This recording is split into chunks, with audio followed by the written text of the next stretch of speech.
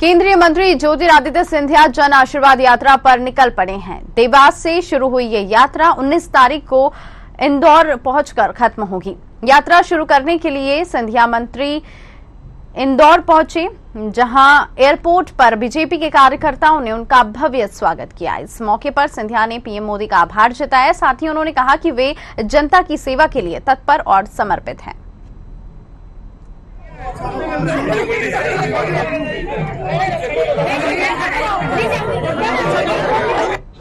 प्रधानमंत्री नरेंद्र मोदी जी को, हमारे अध्यक्ष जेपी नड्डा जी को गृह मंत्री अमित शाह जी को, जिन्होंने